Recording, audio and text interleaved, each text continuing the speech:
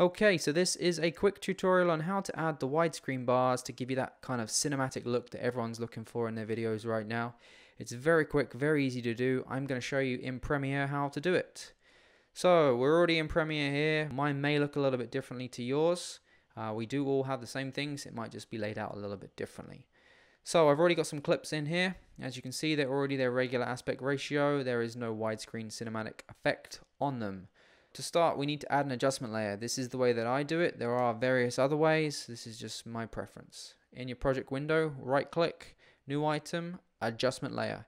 If you're not familiar with what an adjustment layer is, it is in a layer that sits above all over other video clips um, that adds an effect to them Oh, or everything below. So anything I add to this adjustment layer will add to all of these clips simultaneously without me having to go and click on each one and add that same effect to those too. So your adjustment layer always wants to be above everything you want to have the effect on.